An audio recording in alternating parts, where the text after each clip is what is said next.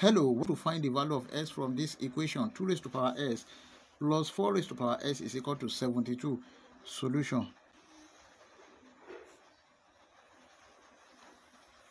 Two raised to power s plus 4 raised to the power s can be written as 2 square raised to the power of s is equal to 72. Then 2 raised to the power s plus 2 square raised to the power of s minus 72 is equal to 0. If you have a raised to the power n to the power of m is equal to a raised to the power m to the power of n. And this is 2 raised to the power s plus 2 raised to the power s square minus 72 is equal to 0. Let 2 raised to power s is equal to t. t square plus t minus 72 is equal to 0. If you rearrange this very well, this is a quadratic equation which can be solved using factorization method. And the factorization method, the product must be equal to minus 72 and the sum must be equal to 1, which is the coefficient of t. Let's see, product is equal to 9 multiplied by 8. This is equal to minus 72. Sum is equal to 9 plus 8. This is equal to 1.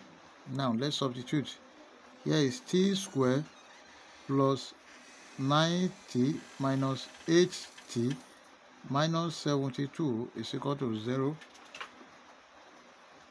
T is common here. t bracket t plus 9 minus 8 bracket t plus 9 is equal to 0. Then t plus 9 is common. Here we have t minus 8 bracket t plus 9 equal to 0. There are two cases here. t minus 8 is equal to 0 or t plus 9 is equal to 0. And from here, t is equal to 8. Then from this side, t is equal to minus 9. But 2 raised to power s is equal to t. Then 2 raised to power s is equal to minus 9. If you look at this, this is positive and this is negative. So the whole of this is rejected. Then from this side, we have 2 raised to power s is equal to 8. This is raised solution. 2 raised to power s is equal to 2 raised to power 3 then they have the same base 2 s is equal to 3 this is the final answer. We can check to confirm if our answer is right or wrong. Now to check we have 2 raised to power s plus 4 raised to power s is equal to 72 when s